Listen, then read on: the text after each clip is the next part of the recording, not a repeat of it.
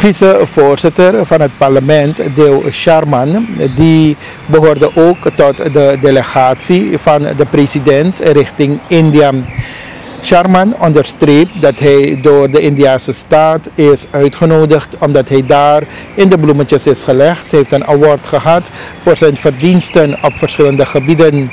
We spraken met hem niet alleen over zijn award, maar ook over een aantal andere zaken. Want er is heel veel kritiek uit de samenleving over de reis naar India geweest. En we vroegen aan de vicevoorzitter van het parlement hoe belangrijk de reis naar India wel is geweest. U hoort vicevoorzitter van het parlement, Deel Sharman. Uh, het is een heel erg belangrijk om trots op te zijn dat je een van de weinige Surinamers bent die de hoogste onderscheiding heeft kunnen krijgen vanuit de, in de, Indiase overheid. Uh, dat geeft een gevoel van trots, daar ben ik blij om. Maar meer uh, dat het ook als inspiratie kan dienen voor alle andere Surinamers om ook te gaan presteren, om op te vallen om op die manier ook uh, zeg maar een award te kunnen winnen. Maar het is een mooi gevoel, een prima gevoel. Het was leuk om daar aanwezig te zijn tussen alle andere mensen die ook een, een award hebben ontvangen. Ja, en voor, eh, voor welke verdiensten bent u onderscheiden geworden precies? Uh, ze zeggen community welfare, dus dat is een beetje heel algemeen. Maar het gaat erom um, bijdragen aan de grote samenleving. En het blijkt dat India heel erg goed op de hoogte was. Ze hebben heel, heel goed research gedaan over mijn achtergrond als medicus, als politicus. Maar ook mijn bijdrage op sociaal-maatschappelijk vak in die zin van mijn bijdrage aan Hindi, aan yoga, maar ook mijn uh, betrokkenheid bij preventie van uh, suïcide enzovoorts. Uh, ze waren zelfs op de hoogte van dat ik in een klein rolletje heb gespeeld in de, speel, in de film over Marienburg. Dus ze hebben echt heel veel research gedaan. overigens, er waren heel veel nominaties, meer dan 100 nominaties en daaruit hebben ze 27 gekozen. Dus dat stemt ook goed dat ze dus heel erg streng zijn in het selecteren. En dat geeft natuurlijk meer glans aan een award die je krijgt. Maar kortom, alle de totale bijdrage aan de samenleving hebben ze onder de loep genomen en eindelijk die nominatie uh, geaccordeerd. Heeft u gebruik gemaakt van uw vicevoorzitterschap om nog misschien andere zaken te doen in vicevoorzitterschap van DNA om andere zaken te doen in India? Nee, dat is allemaal niet gelukt omdat het programma heel erg compact was en er waren hele strenge protocolaire regels, maar ook hele strenge veiligheidsregels. Dus je kon niet uh, zomaar gaan move en allerlei afspraken gaan maken. Ik had gehoopt om uh, de de parlementsvoorzitter meneer Om Birla te kunnen ontmoeten, maar die was op dat moment niet in Delhi. Uh, die zou uh, juist Delhi bereiken nadat we al vertrokken waren. Maar met andere autoriteiten nee. Ik heb wel meegedaan met vrijwel alle activiteiten van de president, omdat ik tot de formele delegatie van de president behoorde. Dus gesprekken met de president, gesprekken met de prime minister, met andere ministers. bij die gesprekken ben ik inderdaad ook aanwezig geweest. Ik ben blij dat u dat onderstreept, de heer. Uh, dat, dat u zegt dat u behoort tot de formele delegatie van de president. Want we zien dat het toch wel een van de reizen is van de president die ook heel veel kritiek nu heeft gehad in die samenleving. Is het terecht, alle kritiek, uh, heer Sharman? Omdat mensen niet weten hoe dat allemaal een beetje in elkaar zit, kunnen ze kritiek hebben. Ik denk dat er beter gecommuniceerd moet worden met de samenleving en uitgelegd moet worden hoe de, uh, de delegatie in elkaar is, uh, heeft gezeten. Ik behoorde niet tot de delegatie, ik zou niet eens naar India gaan. Totdat net een paar dagen voor het vertrek van de president mij door de Indiase overheid, althans de ambassadeur hier te landen, werd aangegeven dat ik mogelijk de nominatie van mij zou doorkomen. En toen het doorkwam heeft hij mij verzocht als ik de president zou kunnen verzoeken om tot de officiële delegatie te uh, behoren vanwege allerlei protocolaire en veiligheidsissues.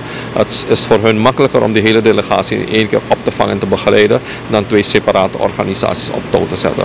Uh, overigens moet ik aangeven dat uh, India dat heeft gevraagd. Ik heb toen aan dit voorgehouden aan de minister van Bibis, die dat heeft doorgesproken met de president en zo ben ik toegevoegd geworden aan de delegatie van de president. Hoe de andere leden eruit, wie er allemaal uitmaken, daar heb ik totaal geen invloed gehad, totaal geen inzage en dat is ook niet mijn verantwoordelijkheid om daarover een uitspraak te doen. Ja, maar u zegt dat het wel een belangrijke ontmoeting was voor Suriname in India? Ja, absoluut. Uh, zeker moeten we aangeven, los van het politieke dat je met de uh, prime minister en de president hebt gesproken. Ik denk dat, de, uh, um, en dat ging primair over schuldherschikking, et cetera, maar dat is iets van de president. Die vraag moet u eigenlijk aan de president stellen. Nee, daarover heeft hij zich ook ja, al... Ja. Maar primair ging het ook om de business meetings en de, zaak, en de zaken die we willen gaan doen met, met India, daar heb ik heel veel opportunities gezien. Maar ook heel veel investeerders die naar Suriname willen komen. Dus we zullen dat allemaal moeten gaan oppakken. India is niet meer een arm land zoals we dat op onze netvlies altijd hadden. Het is een land in progressie, het is een land die heel snel vooruit gaat. En mensen, de bevolking daar is erg committed om te presteren. En ze willen inderdaad eh, de, de, vleugels uitweiden naar de rest van de wereld. Ik, eh, er waren bedrijven aanwezig die al zaken doen in Brazilië bijvoorbeeld. Dat ze 30 en 40.000 hectare aan, aan sojaplanten in Brazilië. Dus uh, ze willen big business doen.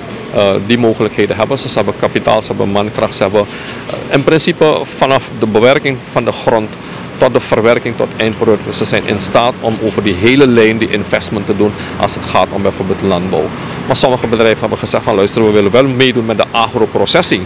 Maar het produceren van de producten, dat is jullie verantwoordelijkheid. Dat moeten jullie ter hand gaan nemen. Dus, maar wat ik wil aangeven, dat business opportunities er een heleboel zijn. Onze businessmensen, onze, uh, onze mensen hier te landen moeten al die mogelijkheden een beetje gaan benutten. Uh, uh, om, om hier projecten te starten, bedrijven te starten enzovoorts. Maar we zien ook, heer Sharman, dat er zelf hier in het parlement heel veel kritiek is plotseling op ook de komst van Indiërs naar richting Suriname. Uh, ik zou niet zeggen dat het om dit ging om de komst van de Indiërs. Het ging om de komst van Indiërs die niet voldeden aan, aan, aan allerlei uh, documenten die vereist zijn. Dat was de issue. Het gaat niet om de nationaliteit van mensen, of het nou Indiërs zijn of Pakistanis zijn of wie dan ook zijn. Dat is volgens mij niet de issue. Het ging primair om het feit dat de mensen zoals ze noemden, sommige leraren noemden, illegaal waren. Niet voldeden aan de normen om het land binnen te komen. En in dat geval moet je gaan optreden als autoriteit. Ik bedoel, we hebben grensbewaking, beveiliging, autoriteiten en instituten die erop moeten toezien. En die mensen moeten gaan optreden. Maar, uh, en nogmaals, het gaat niet om Indiërs. Indiërs mogen komen. Amerikanen mogen komen, Nederland mogen komen, Brazilië. Iedereen mag komen, want er is een bepaald soort beleid ontwikkeld vanuit het ministerie van Bibis om bijvoorbeeld uh, visum aan af te schaffen, begrijpt u wel? Dus heel veel mensen hebben vrijelijk toegang tot dit land en dat heeft soms ook uh, negatieve bijeffecten om het zo te noemen. Dat ook mensen met andersoortige, soms criminele bedoelingen het land binnenkomen. Begrijpt u wel? Dus je moet natuurlijk uh, continu alert blijven als grensautoriteiten dat je dit soort gasten niet, niet binnenlaat. Maar nogmaals, het gaat volgens mij niet om Indiërs. Het gaat om het feit dat mensen niet voldeden aan het binnentreden van dit land. Tot slot, award dat u heeft gehad, heer Sharman, dat stimuleert u waartoe? Uh, in ieder geval tot betere prestaties, want het is goed om iets te winnen, maar het is nog moeilijker om in de top te blijven. Begrijpt u wel? Dus dat wil zeggen, in ieder geval dat de erkenning niet alleen hier te landen komt, maar dat ook een buitenlandse mogelijkheid die erkenning geeft. Dat we zeggen dat je in de gaten gehouden wordt. Dus je gaat moeten presteren, je zal beter moeten performen om in ieder geval die standaarden die voor jou gelegd zijn, om dat te, te, blijven evenaren. Uh, ik hoop alleen dat uh, anderen, politici, niet-politici, mensen uit de samenleving, hieruit inspiratie mogen halen om ook te accelereren, om het beter te doen. we moeten gaan werken in dit land. Nogmaals, ik heb gezien in India, daar is de mindset, we moeten werken, hard werken om als eerste in de wereld te worden. Wij moeten hier in het land ook heel hard gaan werken om het beter te hebben dan gisteren. Maar hoe is de Indiër op een dergelijke mindset gekomen? Uh, waarschijnlijk met leiderschap, uh, maar ook uh, collectiviteit in denken. ik denk dat het erg belangrijk is dat daar een bepaald idee leeft van we moeten beter zijn dan bijvoorbeeld de buurlanden. Je weet, er is een stukje uh, gezonde wedijver met China. Rivaliteit. Rivaliteit met China, waarbij ze proberen om steeds beter te zijn. Maar ze proberen nu uh, de targets hoger te leggen om de beste in de wereld te zijn. U weet dat hun premier heeft aangekondigd om over 25 jaar niet meer te behoren uh, tot een, uh, een, een, arm land. Ze moeten een, een topland gaan worden. In, uh, ze, ze, streven naar één, maar ze zeggen tussen 1 en 3 moet het ergens zijn.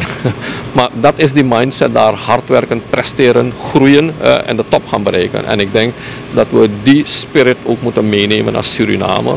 En hier met onze moeten gaan, mensen moeten gaan delen. En dat groepjes en hokjes denken, begrijpt u wel, dat moeten we achter de wegen gelaten. Ik denk dat we als kleine samenleving met 600.000 mensen een keertje moeten gaan realiseren dat dit land van ons allemaal is en dat we allemaal verantwoordelijk zijn voor het land. En dat we allemaal heel hard moeten gaan werken om het volk en het land te verheffen.